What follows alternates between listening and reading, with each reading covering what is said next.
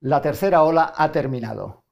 El descenso nos ha durado un mes en Cataluña y a partir de ahora volveremos a subir. La situación había mejorado en las últimas semanas. El número de nuevos casos se iba reduciendo, la presión sobre los hospitales se aliviaba, lentamente pero se aliviaba, pero había en esta tendencia positiva un dato que en los últimos días había empeorado, que lanzaba una primera señal de alarma como un canario en una mina. Era el número R de reproducción del virus, el número que indica a cuántas personas de media contagia cada caso positivo. Partíamos de una R de 0,8 hace una semana, ha subido a 1. 0,8 significaba que cada 100 casos contagian a 80 y estos a 64, por lo tanto, los casos se reducían. Una R de 1, como tenemos ahora, significa que cada 100 casos contagian a 100 y estos a 100. Ha dejado de haber descenso. ¿Y por qué ha dejado de bajar el número R? No es por los efectos de la jornada electoral del 14 de octubre, porque empezó a subir antes de que se vieran los efectos de la jornada electoral, tampoco es solo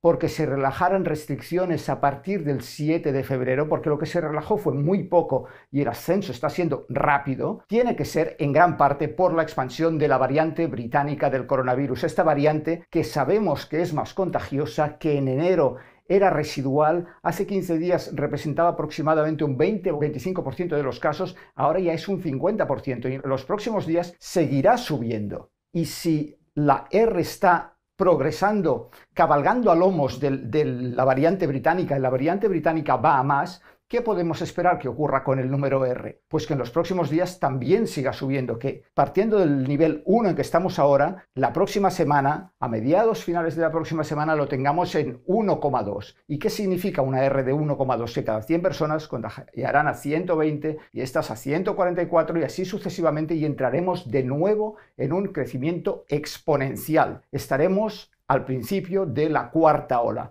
Y esta cuarta ola empieza con un nivel de contagios mucho más alto que el que teníamos al principio de la tercera y con un nivel de presión sobre los hospitales de pacientes ingresados en UCI por COVID mucho más alto. Por lo tanto, potencialmente esta cuarta ola puede ser más grave que lo que ha sido la tercera, que ya fue especialmente grave. ¿Esto cómo se puede parar? A estas alturas de la pandemia ya sabemos cómo se paran las olas. Solo hay una manera, es con restricciones. No tenemos muchas alternativas.